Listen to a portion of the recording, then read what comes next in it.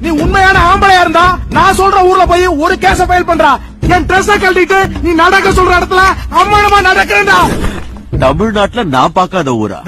எந்த ஊருடா உன் ஊர்ல பிரச்சனை இந்த ஊருக்கா வர்றது? இது சாதாரண ஊர்லப்பா. இங்க குழாய திறந்தா தண்ணி வராது. ரத்தம் தான் வரும். ரத்த பூமி. சரி எங்க போயிட்டு வர பாக்குறீங்களே?